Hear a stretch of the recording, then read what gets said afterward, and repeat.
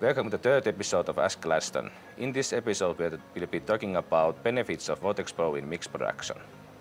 Traditionally in mixed production, the loading utilization often decreases as combining different size classes in same load requires accurate heating control and deep operator process knowledge.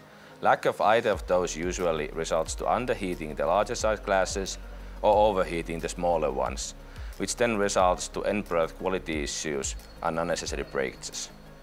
Unlike any other convection technology in the market, Vortex Pro can assist you with both of those previously mentioned points.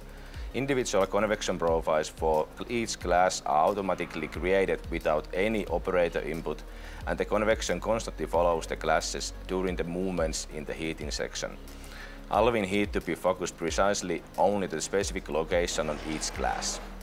So the Vortex Pro actually has three major benefits.